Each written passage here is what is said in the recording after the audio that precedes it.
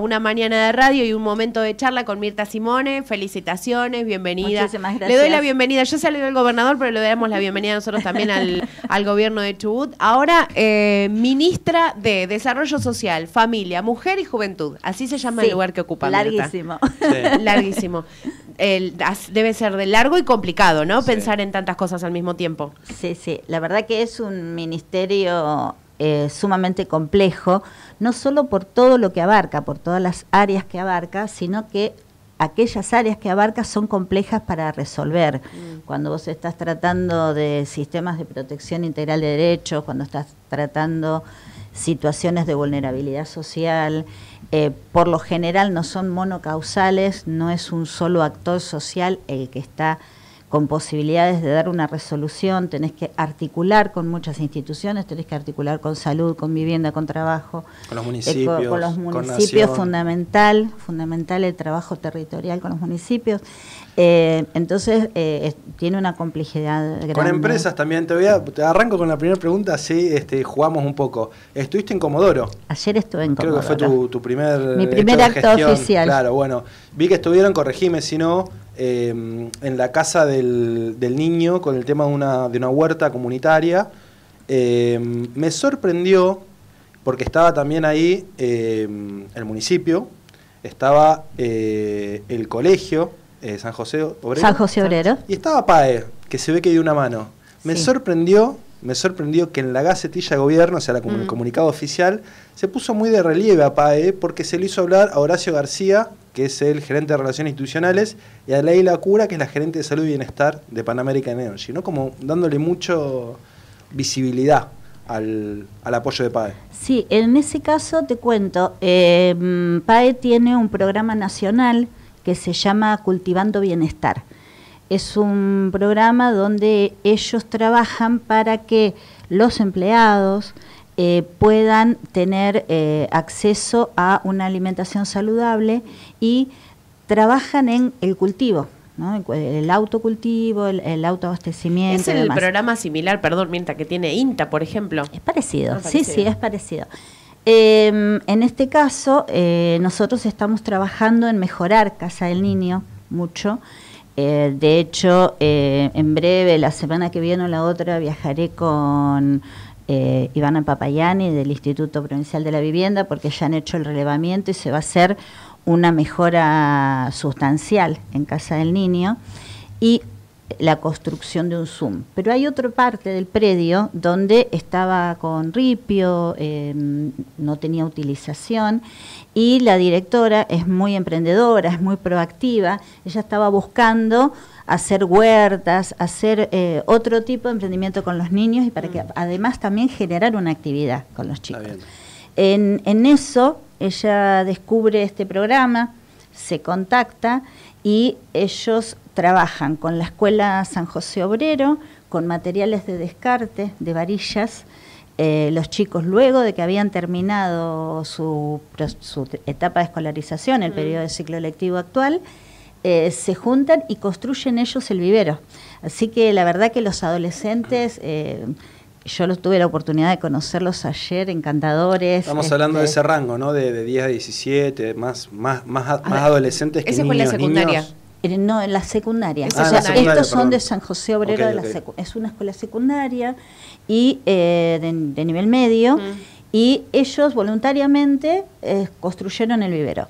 El vivero nuestro, la, la- la plantación nuestra era muy chiquitita, era una, una actividad pensada para niños hasta 12 años. Tenés Claro. niños muy chiquititos, niños, niñas muy chiquititos casi en casa jugar, del niño. jugar, jugar con la tierra. Claro, y- porque tiene que ver con otras cuestiones. Ver cómo crece Nosotros algo. tenemos que pensar que la población que vive en Casa del Niño es población que ha tenido experiencias muy dolorosas. ¿Cuántos? Son cuántos? niños, hoy hay 25. 25. 25 Sí, niños con niñas historias, experiencias con historias dolorosas. muy dolorosas.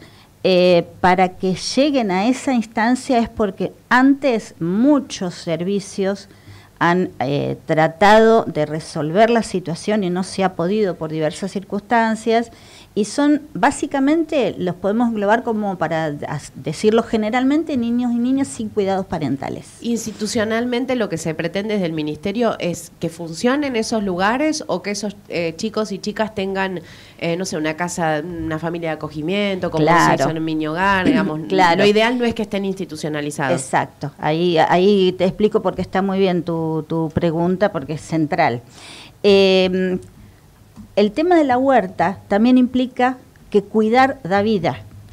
¿No? Entonces, y que cuidar de la nada se generan cosas. Y niños y niñas que no han estado cuidados, que a partir de un proceso donde hay muchos adultos que tendrían que ver cuidado y ahora están cuidando a otros adultos, y ver el municipio, la provincia, mm. empresa, eh, escuela, eh, también tiene que ver con un montón de valores de que todos nos tenemos que hacer cargo de los niños de cada ciudad. Eh, la ley de protección integral nacional, provincial, la convención, te habla de la corresponsabilidad. Los niños y niñas son de todos.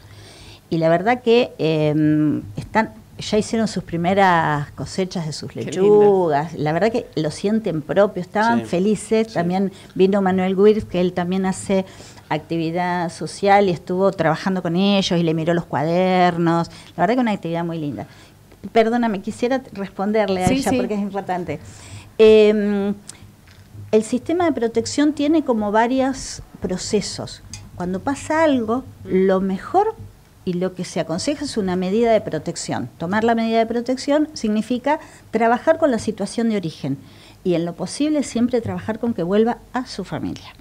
Si esto no es posible, lo que dijiste, familia de acogimiento, familia solidaria, familia de corazón, o una familia empleada, el tío, el tía, la tía, el abuelo, un, referente afectivo, un referente afectivo es. ¿no? Si esto no existe tampoco, porque hay veces que no lo hay, una familia de acogimiento, corazón que son familias mm. que voluntariamente se anotan, un equipo técnico las evalúa y el objetivo es transitorio. El objetivo es que este niño, niña, viva en una familia. Hablemos un poquito de la familia transitoria. Eh, ¿Hay eh, suficiente gente anotada para eso o es como que siempre falta? Eh, porque no me imagino que no debe ser tan común familias dispuestas adoptar a veces niños más grandes. Creo que es más común de lo que uno piensa, ¿no? Está bien, no, viste, pero a veces porque se piensa en adopción a, niños muy chiquitos y, capaz que uno de siete ya no... Claro, y eso es lo que quería aclarar, que no es adopción. No es con fines de adopción. No es con fines adoptivos. Una de las características que tiene que tener la familia para acceder al estado de familias solidarias es que no tenga expectativas de adopción, porque no se va a trabajar con ella en un futuro de que sea quien tenga la guarda de ese niño definitiva. Es una guarda transitoria. ¿El Estado, eh, le abona algún dinero a esa familia? Depende, depende. Em, tratamos de que no, y te digo por qué, porque no es una salida laboral para una familia. No es que yo cuido cinco chicos porque me dan tanto por un niño o niña.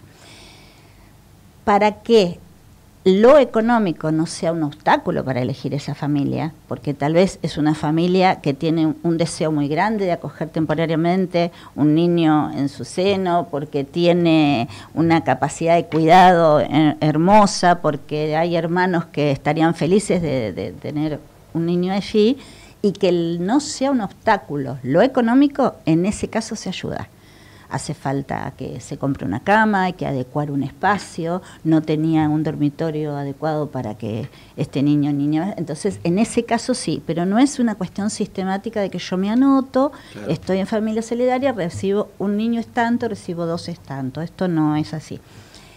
La familia solidaria, el objetivo que tiene es que pueda estar en un ámbito familiar hasta tanto se pueda resolver su situación.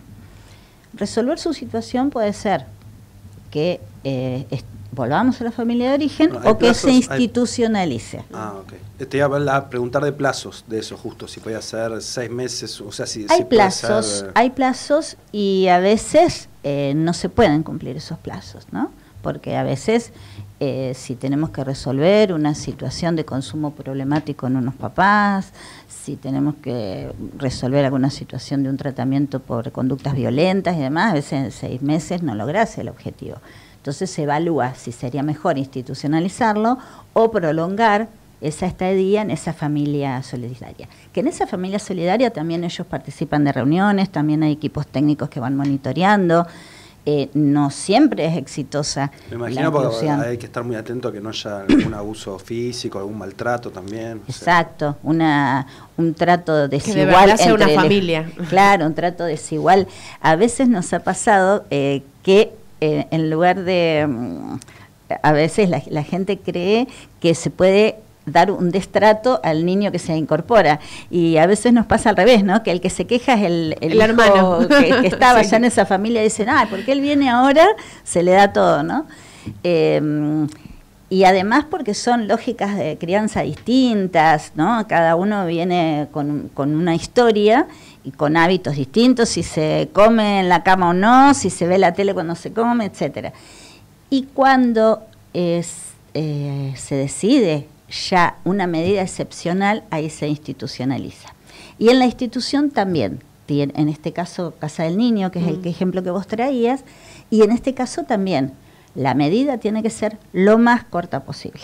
No es bueno que esté 10 años en una institución, tendría que poder estar el plazo más breve posible hasta que o se resuelve la situación o se decreta el estado de adoptabilidad. Y ahí entramos en el otro listado, en el que vos decías. ¿Ese listado eh, de adoptabilidad o la situación, la cuestión de adopción, eh, también depende de tu ministerio? También depende de mi ministerio. ¿qué, otra cosa más así como muy sensible al...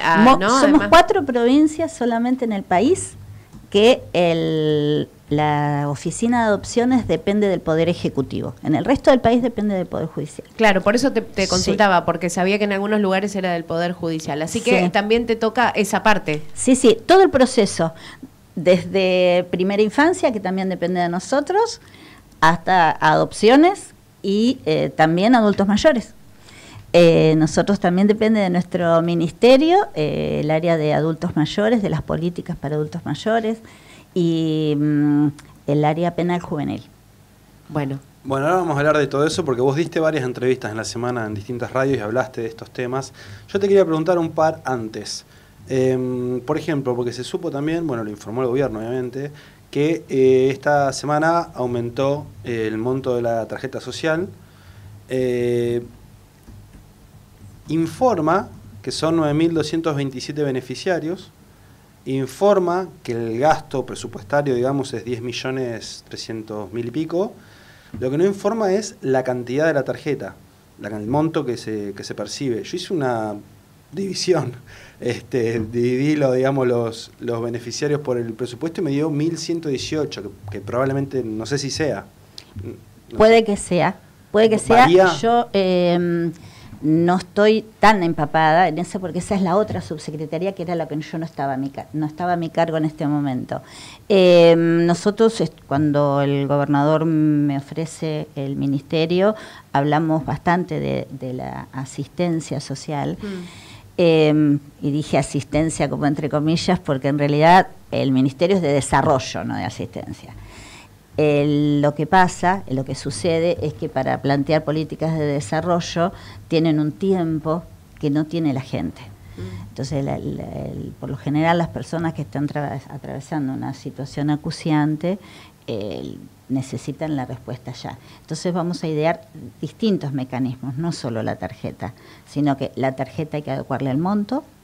También tenemos la tarjeta Cele que es una tarjeta que es para específicamente para familias que tienen em, en, su seno familiar eh, pacientes celíacos, mm. que por supuesto la alimentación es más cara, entonces... ¿Es una política de nación o es una política provincial? Provincial. Provincial. Provincial, es una política provincial, así que estuvimos viendo eso y estamos eh, tratando de diseñar también un dispositivo donde, si bien se haga la asistencia en víveres, máquinas, lo que fuera que se necesita allí, pueda trabajarse en formación, en capacitación, en cooperativismo, en lo que fuera que ese lugar eh, sea posible, para que después tenga un autovalimiento. no está bueno que dependa de la asistencia del Estado una familia, ¿no?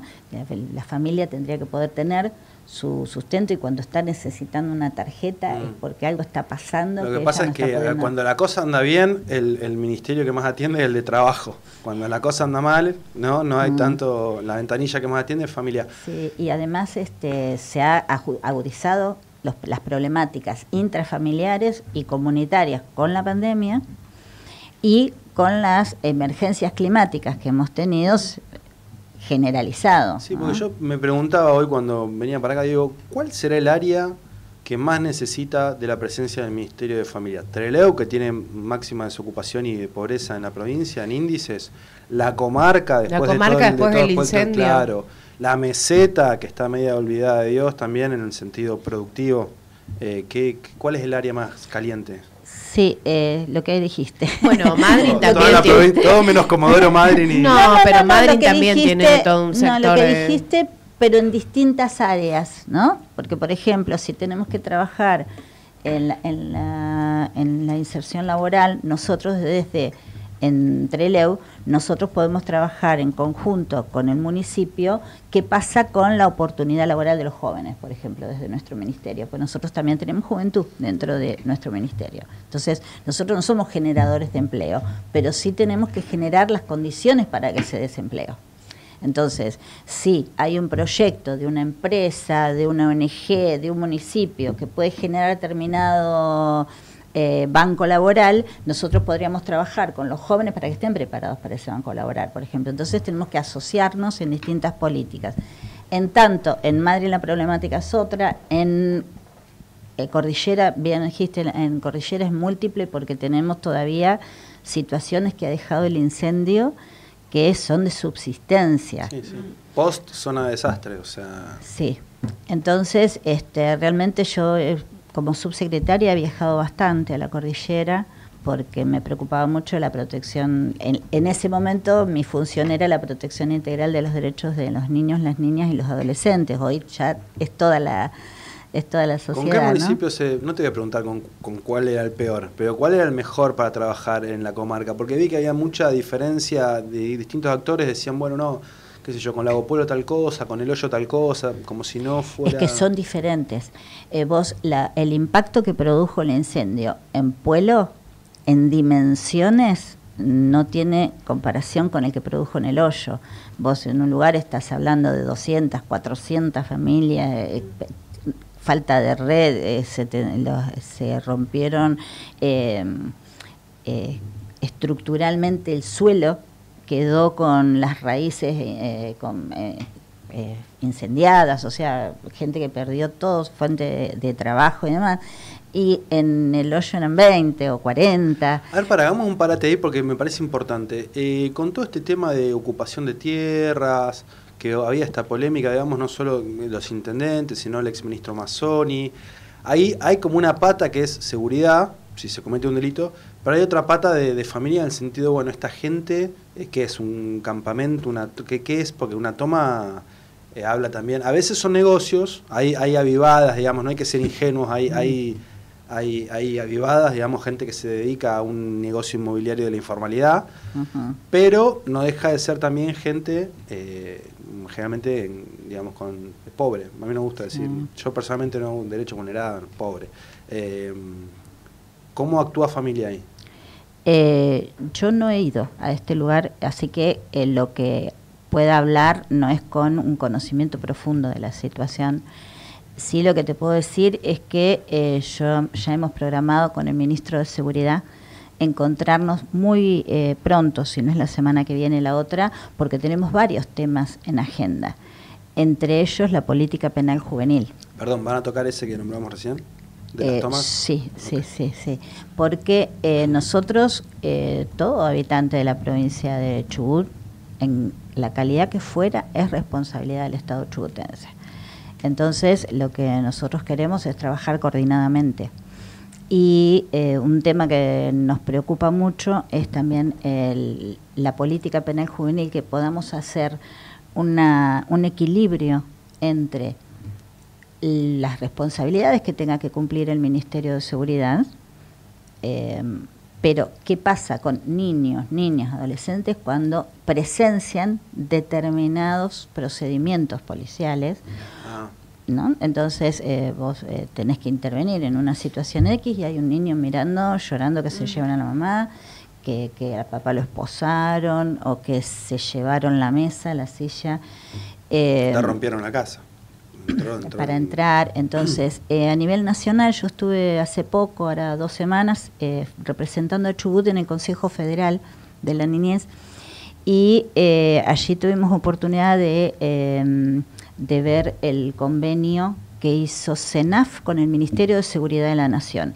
Y lo que se espera es que a partir de, de ese convenio marco, que es muy general obviamente porque es nacional y tiene que cubrir toda la diversidad que debe haber en el mm. país, se baje en cascada a través de los ministerios de seguridad provinciales y los ministerios de desarrollo social o familia o como se llame en cada provincia. Esto tiene que terminar, este proceso, en un protocolo de intervención, que respetemos nosotros y que respeten ellos. Eh, y es para charlarlo. Claro, porque aparte donde hay un protocolo, hay donde se incumple un protocolo, hay una posibilidad de judicialización en el sentido de sanciones. Claro, exacto. Por lo general tiene que ver también con instancias de capacitación, claro. que, que, nuestro personal pueda comprender algunos procedimientos y que el personal policial pueda comprender también algunos ejes de protección que nos, y límites que no se pueden pasar. también, perdóname, también incluye mm lo que se debe proteger cuando hay un menor de 18 años eh, en la comisión de una contravención penal, eh, los cuidados que tiene que tenerse también, ¿no? ¿Dónde se lo lleva? ¿Cómo? ¿Cuándo? Hablando de lo penal juvenil, eh, ¿el COSE depende de familia? Sí, también. Eh, porque ahí también es, es un tema, ¿no? Eh, ¿Cuántos hay, las condiciones, los distintos ah. herramientas para, para, salir mejor de lo que se entró? Ahí te puede dar una mano SIDATE porque está, muchos dirigentes de ATE vienen de ahí, del COSE pero, pero es una papa caliente el COSE generalmente. Sí, eh, nosotros venimos, eh, como dependía de mi subsecretaría, digamos, la subsecretaría que estaba a mi cargo, ya venía trabajando yo con, con el tema del COSE. ¿Cuánta gente hay? ¿Cuántos em, chicos? Y chicos, no sé si chicas. Mira, la semana pasada había dos. Dos nomás. Sí. ¿Y cuántas plazas hay? No, plazas hay más. Eh, nosotros trabajamos con el Poder Judicial de que seamos muy cautos. ¿Qué y, cómo? Eh, creo yo que como yo estuve en Comodoro asumiendo y demás, no he tenido contacto estos días. Eh, creo que ingresaron dos más. Estimo yo, si no me equivoco, que debe haber cuatro. Lo que pasa, Mirta, que es un lugar estigmatizado, ¿no? También es un en lugar nuestra sociedad. Muy estigmatizado y también tenemos que tener una mirada de comprensión hacia los trabajadores del lugar porque no es una institución fácil de conducir ni fácil en el logro de resultados porque necesita de un montón de socios para trabajar ahí. Eh, Como un centro de formación profesional, por ejemplo. Claro, y además tenés que tener actividades que no representen peligro para sí y para los otros en su herramienta, además, pero además que haya actividades para trabajar un montón de otras cosas. Por ejemplo, que es una norma, cómo se respeta una norma, cómo se respeta la vida, cómo se respeta la propiedad del otro, ¿no? Que son por lo general paradigmas que hay que trabajar en, en bueno, lugares vos, cuando hablabas lo de las huertas con los chicos, que ahora te iba a preguntar de las huertas para los adultos, no me quiero olvidar. Eh, no era tan así, pero yo a mí me resonaba en la cabeza muchas veces cuando se habla de un adicto en recuperación, por ejemplo, el tema de un proyecto de vida, ¿no? De, cuidar una planta, de cuidar una mascota, de, tener algo. Forma parte de una de las actividades principales en el caso de, recuperación. Claro, claro, que tiene que ver esto con, bueno. Eh, eh, y, ser responsable de algo también, ¿no? Claro, mm. claro. este, y en, en relación a, a, esto, ¿no? Muchos adolescentes que a veces se perdieron expectativas de todo y para qué, no digo para qué vivir, pero, pero como que no me importa nada y donde no me importa nada no me importas vos, me llevo puesto absolutamente todo lo que encuentro. Y, y mucho más complejo aún, porque si a mí me empieza a importar otras cosas diferentes, mi núcleo de pertenencia, eh, dejo de estar en mi núcleo de pertenencia. Entonces, em, eh, es un trabajo absolutamente complejo. con la identidad también, hace, muchas veces juego con la identidad, dejo de ser lo que era. Y vos sabés que en, en la CENAF, la verdad que la Secretaría Nacional tiene personal especializado en múltiples áreas y me han ayudado muchísimo en la subsecretaría tiene un área específica de penal con profesionales que tienen, pero bueno, que han dirigido el agote, o sea, mm. Eh, sistemas penales donde... Mucho más complejos. Mucho roce, sí. Y em, ellos nos están dando una asistencia técnica todo eh, viernes por medio con el personal. O sea, nosotros nos conectamos los funcionarios y los directores con los jefes de guardia, con el equipo técnico y ellos todos los viernes a ver cada uno de los, de los casos y cada una de las actividades que se puede hacer y cómo pueden hacer un proyecto institucional. bien articulado con Nación. También te preguntaba desde la ignorancia, ¿el COSE es, o sea, si un chico eh, tiene un problema en Esquel o en Comodoro o en otra zona más lejana de la provincia, o sea, ¿el lugar es COSE o hay otros como el COSE en, en otros lados de la provincia? No, es posible que pueda venir al COSE Treleu. Eh, ¿Por qué? Porque hay un COSE en Esquel pero ese COSE funciona más como un programa preventivo, ¿no? Hace trabajo en territorio, mm. no es un sistema a puertas cerradas. El único que tenemos a puertas cerradas es el COSE Trelew. A veces eh, la medida judicial no indica que sea puertas cerradas. Entonces tenemos otros programas. Tenemos el programa preventivo en Trelew, tenemos un programa preventivo en Madrid, tenemos un, esto, un programa preventivo en Esquel y tenemos Cuando dos... programa preventivo, ¿qué es? Es, eh, bueno, nosotros le queremos cambiar la identidad, te digo cómo funcionaba hasta ahora. Eh, tiene que ver con eh, adolescentes que tienen una contravención penal, pero esa contravención no ha merecido una medida judicial de puerta cerrada. Entonces es para trabajar preventivamente que no lleguemos a esa instancia. También debe tener que ver con la edad del adolescente, ¿no? Claro. Entonces nosotros lo que queremos también es cambiar esta cuestión del preventivo. Si bien dejar algo penal específico, pensamos que hay que trabajar con todos los jóvenes y con todos los adolescentes, porque vos situaciones de, vulnerabilidad eh, tenés atravesada en muchas circunstancias. Y también queremos que no esté asociado pobreza con delincuencia, ¿no? Porque no, no, son, no van de la mano, no van de la mano. Vos podés pertenecer a, un, a otro, tener otras posibilidades económicas y de desarrollo y también cometer un delito. Ser dealer. Entonces, de pastillas. Clase media dealer de pastillas. Claro, entonces a veces, viste, eh, me suelen preguntar, y bueno, no, no, tendrían que darle trabajo para que dejen de delinquir. Bueno, es, una asociación peligrosa. Yo creo que ahí la, la, la, discusión en un punto es qué acciones concretas y prácticas se llevan adelante para que no caiga, y yo me peleo bastante con la gente de salud con adicciones en esto, en el tema de como si fuera una capacitación. Vamos a educar a los chicos, a explicarles que está mal hacer esto y que, o sea, no caer en, digamos, poder articular acciones concretas que no termine en, si fuera malo diría un folleto. Sí, este, sí, Y dijiste una palabra clave, articular, porque eh, son situaciones por lo general en donde salud tiene que intervenir, porque tenemos consumos de sustancias, cuadros depresivos. Bueno, salud y educación, ¿no? Y te iba a decir, y educación porque eh, también, además de tener que respetar el derecho a la escolarización, la educación ofrece posibilidades y abre puertas. Y acá estamos trabajando, ¿por qué es tan difícil? Porque vos tenés que trabajar sobre valores, ¿no? Y mm. uno no, no enseña desde afuera un valor, ni el otro se apropia porque se lo dijiste ni porque le diste el folleto, como bien vos decías.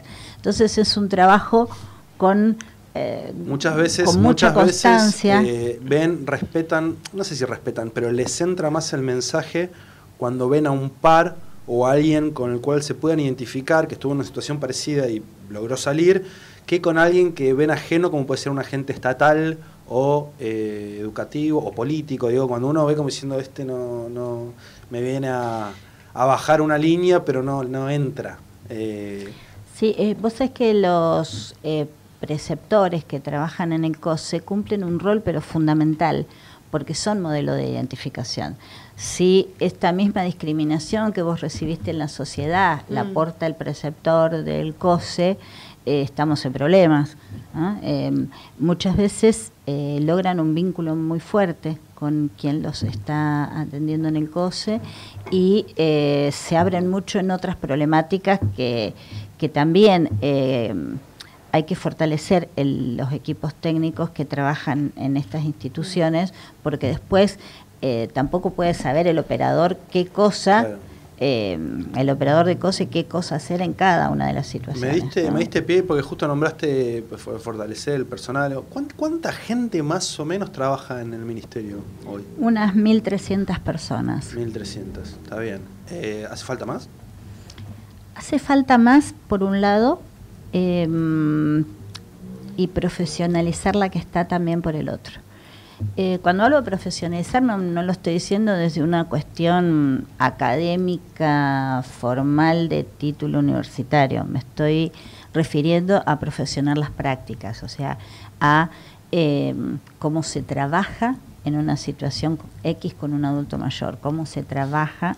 Ahí tiene que ver la famosa, la palabrita que nombraste hace un rato, protocolo. Protocolo, protocolo, ¿no?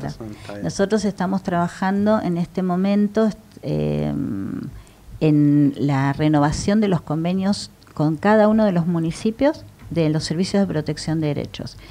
El sistema de protección integral de derechos tiene una variedad de instituciones, incluidas OSC, sociedad civil, etcétera, pero el eje de todo ese sistema y el articulador, el articulador, perdón, debe ser el servicio de protección. En algunos casos lo es, tenemos algunos servicios que funcionan muy bien, que, que, son los articuladores incluso con el Poder Judicial, y hay otros que se encuentran más debilitados por diversas causas y Tal vez entonces la medida que tendría que tomar el servicio la termina tomando el Poder Judicial y se judicializa la situación cuando no, cuando no era, necesaria. Pero eh, no, eh, quiero que se entienda, no es una crítica al servicio. A veces, por ejemplo, estás en una localidad donde no hay profesionales para contratar y, mm. bueno, no, es una culpa del servicio que no lo pueda sostener. O em, nuestro organismo eh, forma mucho al personal que pasa por nuestras instituciones y lo que sucede generalmente es que hay un vaso comunicante hacia otros lados, ¿no? O sea, están algunos años en nuestros servicios, eh, la verdad que te forma, imagínate con la amplitud que tiene esto, sí, eh, logras una La capacitación y eh, solamente con la actividad, realizando una actividad. Sí. Y luego, bueno, oportunidades mejores que, puedan tener, eh, terminan siendo jueces de familia en el Poder Judicial, terminan en asesorías, en ETIs. Entonces, bueno, también estamos revisando esto de que sea reconocido en, no solo salarialmente, sino institucionalmente, para que estas personas valiosas se queden. Claro. Bueno, yo te iba a preguntar, em, para, no, para no ser más larga, voy a borrar un montón de preguntas, y te quería preguntar esto, porque hablamos de huertas hace un rato, y a mí me preocupa un poco eh, a veces eh, cuando se toma, a ver, eh, ante una situación de desempleo, muchas veces se trabaja con los movimientos sociales o en esquemas cooperativos hacia un sistema de agricultura, invernadero, huerta, lo que se quiera. Ahora, ¿cómo hacer para que eso, eh, a ver, en los 90 vimos, por ejemplo, desocupados de IPF en Salta, eh, que el FMI les hacía programas para plantar papa. O sea, ¿cómo se hace para que un, un, trabajador industrial o alguien que obviamente aspira, no sé si a tener un, trabajo de ocho horas, pues no sé si eso existe ya, pero a volver al mercado laboral, no termine en una situación crónica o no se plantee como un modelo ideal o un lugar eh, re bueno eh, ponerse a hacer huerta eh, siendo adulto desocupado. Sí, yo creo que eh, son diversas cosas las que estás apuntando. Una es a la diversidad de la oferta, la diversificación de la oferta. Yo coincido que no puede haber una sola oferta y que esa única oferta sea la huerta. otra es la diversidad de edades. Vos estás hablando de adultos que quedaron fuera del sistema con, con en ese momento de los 90, que fue terrible y fue nuestra gran catarata de desocupados y de personas que por su edad ya no eh, volver a ingresar al mercado. Eh, que teníamos una palabra horrible en ese momento, que era la reconversión, y no se podían reconvertir, entonces quedaban fuera del mercado laboral. Em, en cuanto a lo que tiene que ver con emprendimientos, eh, hay diversos programas, precisamente yo estuve charlando con el gobernador que quería realmente recuperar que una de las subsecretarías se dedique fundamentalmente a traer estos programas nacionales a la provincia, porque tenés algunos lo estamos ejecutando, no sé, mercado herramientas, eh, perdón, banco de herramientas. Banco de herramientas es un programa que si vos tenés un emprendimiento se ayuda a que vos lo puedas sostener en el momento inicial para que después tengas y puede ser de cualquier cosa. Podés estar fabricando lo que sea. Tener el programa nacional implica tener el presupuesto, el, dinero para hacerlo, eso. Eh, perdóname que te hago un, mm. paréntesis así acá, porque voy a blanquear que yo trabajé en el Ministerio de Desarrollo Social muchos años de la Nación. eh, de 2011 a 2015 me vine para acá, estuve seis meses en Trelew y renuncié. Eh, lo que había era el plan, no sé si manos a la obra, o bueno, que también con un esquema de, bueno, desocupado oficio panadero, no tiene horno o lo que sea. Bueno, el ministerio proporcionaba las herramientas para que pueda desarrollar un microemprendimiento, lo que sea. Después no había un seguimiento de eso. Y eh, aparecían a la semana vendidos en Mercado Libre el horno porque, un horror, sí. Un horror, pero a ver, puede ser porque no estaba bien chequeado que esa persona tuviera el oficio que decía mm. tener. Podía pasar que, claro, yo te pido a vos, o estoy desocupado hoy, te pido a vos porque soy de verdad panadero. La, la herramienta llega dos años después, y yo dos años después me puse un flete o lo que sea, que ya no necesito eso. O bueno, era, era muy precaria la situación de control y seguimiento, porque aparte de seguimiento puede ser, bueno, ustedes cuatro son panaderos como una cooperativa, o sea, Exactamente. De, laburo, de, capacitación permanente, o sea, era muy endeble. Entonces, ¿cómo se puede hacer para, para laburar eso jerarquizado? Eh, claro, tal cual lo que dijiste. Eh, los, yo he sido muchos años profesora de políticas sociales en la universidad. Eh, las políticas sociales hay diversas maneras de trabajarlas entre ellas las transferencias directas, que se llaman, o la transferencia indirecta. La transferencia directa tiene sus pros y sus contras, lo mismo que la otra. Una transferencia directa es hoy te pasó algo, eh, fuiste víctima de, una violencia familiar y hay que ayudarte a que tengas un dinero en este momento y se te hace un subsidio. Es una transferencia directa. La indirecta es que, bueno, todos necesitamos el transporte y el, subsidio va a esa empresa de transporte para abaratar costos. Em, la ventaja de una y otra tiene que ver con esto que vos decías, los sistemas de otorgamiento y los sistemas de control. en el caso de las transferencias directas, la gran ventaja es que vos sabés a quién. Concretamente, y pasó por un proceso de selección. Esto implica un costo estatal y una organización estatal de quien hace la entrevista, quién decide cuánto y a quiénes, cómo, en qué fecha, cómo se tramita administrativamente, cómo se rinde y cómo se hace el seguimiento. La indirecta es general, pero le llega tal vez a personas que no lo necesitan. Tal vez vos tenés eh, recurso como para pagar un pasaje más caro, pero abarata costos en otro sentido. Em, yo lo voy a seguir trabajando al tema, pero hasta ahora en lo que hemos avanzado es en un sistema mixto, donde las realidades que son más macro, si hay una comunidad que está atravesando una situación, estábamos hablando hoy del incendio en Cordillera, hacer una modalidad de transferencia indirecta, donde es preferible que le llegue el beneficio a alguien que tal vez no era prioritario que le llegue, a que no le llegue a que lo necesita. Y en las situaciones de urgencia, donde tenemos posibilidades, porque tampoco vos generás el recurso de equipos técnicos de un día para el otro, y aunque tuviéramos el dinero, no es fácil conseguirlo porque tampoco tenemos todos los recursos profesionales en la zona, tenemos muchas personas que ya están insertas laboralmente.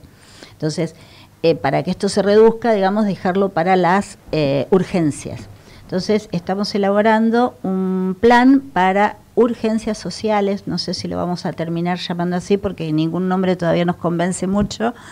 Eh, porque sería una situación de emergencia o que emerge, pero no queríamos que después dentro de la, de la nominación legal eh, se contraponga con cuando hay que decretar situación de emergencia eh, por catástrofe y demás. Entonces estábamos buscándole la nominación, pero vamos hacia ese lado, a un sistema mixto de transferencias directas e indirectas. Bueno, última, última porque no está, está- se hizo larga. Yo me quedaría tres horas más, pero No, bueno. no hizo así radio, como las banderas, eh, la productora, como hizo Cristina en Sí, la bandera. quería- Hizo la de que se cierren. Sí, cierren. Te quería preguntar la última para nombrar un poco el elefante en la habitación, que es que cuando te nombraron, eh, muchos decían, eh, bueno, no, es la mujer del El secretario No, general. no, no, no, no. ¿Eh? No me digas, es la mujer No de. sé cómo tomarlo. Mirta, la bueno, no se usa más decir así. ¿Eh? No se usa más decir es- así. bueno, ¿Vos eh, no- usás no el apellido de, de, de Mirta Simone de? No. No sabemos si están casados o no. Yo lo que pregunto es lo siguiente, porque vos tenés muchísimo currículum, muchísima trayectoria. Cualquiera que mire un poquito enseguida se da cuenta que no se sostiene eso. Lo que sí te iba a preguntar, y vos aparte hablaste mucho, esto dijiste, bueno, no, él tendrá que honrar eh, su representatividad con sus, con sus representados, justamente, yo tengo que hacer mi tarea, pa, pa, pa, perfecto. Yo te quería preguntar si es un buen indicador para mirar eh, la relación entre el sindicato y la gestión, las futuras designaciones. Eh, no digo de, de funcionarios, porque no sé si hay, digamos, sino de empleados, ¿no? ¿Se entiende lo que digo? En, ¿Dentro de la cartera? Dentro del ministerio, no sé si, bueno, nombraron a fulano que, que está vinculado con ATE, ¿se entiende lo que digo? Mira, eh, no sé si va a servir como indicador y te digo por qué. Eh, primero, eh, tanto en la subsecretaría que estuve, eh, vos decías de mi currículum y la trayectoria, y si te fijas, los directores que he nombrado dentro de la subsecretaría son excelentes todos, de máximo nivel todos. Entonces, por eso también nuestra subsecretaría tuvo un volumen que creo que junto con ellos no, me ha llevado a este lugar hoy, ¿no? Eh, pero es casi imposible que no sean afiliados, porque el, nivel, el Ministerio de Desarrollo Social tiene un 90% de afiliación sindical. Claro, tal cual. Entonces, me costaría más buscar a alguien no afiliado. Claro, Tendría que ser un- un- una búsqueda adrede que no sea, digamos. Y la verdad que no, no pasó por, como ese, por ese criterio. Se está buscando los perfiles más adecuados para las indicaciones precisas que dio el gobernador en este sentido. ¿no? Él dijo, yo quiero un ministerio que haga esto, esto y esto, y entonces, bueno, para este, este y esto hay que buscar el perfil que lo pueda llevar a cabo, porque yo sola no lo voy a poder hacer. Bueno, clarísimo. Mil gracias por tu tiempo. Mirta Eh, Simone. Mirta Simone, eh, vamos a decir todo, todo el título completo. Ministra de Desarrollo Social, familia, espera que me falta algo. Mujer eh, y familia, ¿Cómo- perdón, mujer cómo y será- juventud. cómo Y no hablamos de los, no, No. hablamos de la tercera edad. Me ¿Cómo quedo será? con sí, ganas. yo también me quedé con ganas. ¿Cómo será el sello? Un sello así Sello. rectangular gigante, ¿no? Y vos le querías agregar el apellido de casada. Mirta Simone de Quiroga, ministra de Desarrollo. No, no, Mirta. Listo, ya está. Bueno, mil gracias por venir. Buenísima Bueno. la charla. Gracias por tu tiempo. Bueno, muchísimas gracias. Y La que gente sea- dice ministro de familia porque lógico. Ministerio de Familia. Bueno, Sí. que sea con, con suerte y que sea lo mejor. Bueno, ya que todos somos responsables, gracias. vamos a tratar, a tratar cada uno también de ir cambiando algunas, No, y ustedes algunas cuestiones discursivas también, ¿no? Sí. Digo, algunas sí. cuestiones discursivas como esto del cose que hablábamos recién, de, de- voto porque no se llame casa del niño, sino casa de la niñez, por ejemplo, ¿no? Seguramente debe ser algo que deben haber conversado en Tenemos el que Consejo cambiar Federal. Casi todos los nombres de las instituciones. Ah. Tenemos algunas que se llaman hogares de ancianos. Claro. ¿no? Así bueno, que bueno. será un lindo recorrido, interesante. Bueno, Gracias. muchísimas gracias.